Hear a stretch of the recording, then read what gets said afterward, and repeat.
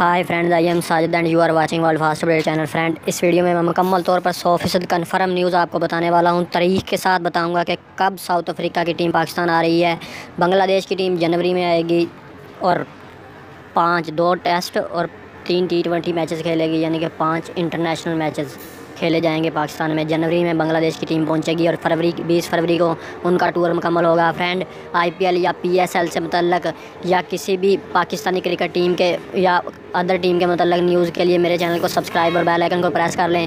تو فرینڈ چلتے ہیں ویڈیو کی طرف۔ ویڈیو سٹارٹ کرتے ہیں، اس سے پہلے ساؤتھ افریقہ کامنٹ باکس میں لازمی لکھ دیے، کیونکہ انہوں نے بہت بڑا یہ کام کیا ہے اور باقاعدہ اعلان کر دیا ہے کہ وہ کب آئے گا۔